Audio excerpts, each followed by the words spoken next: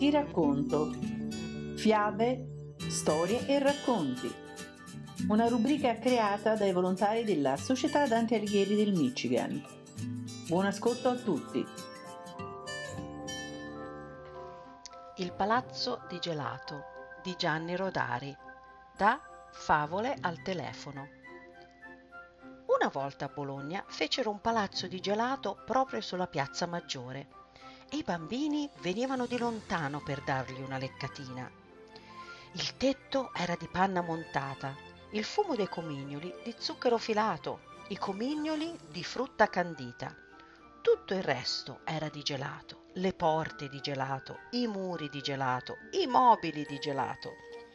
Un bambino piccolissimo si era attaccato a un tavolo e gli leccò le zampe una per una, finché il tavolo gli crollò addosso con tutti i piatti. E i piatti erano di gelato al cioccolato, il più buono. Una guardia del comune a un certo punto si accorse che una finestra si scioglieva. I vetri erano di gelato alla fragola e si squagliavano in rivoletti rosa.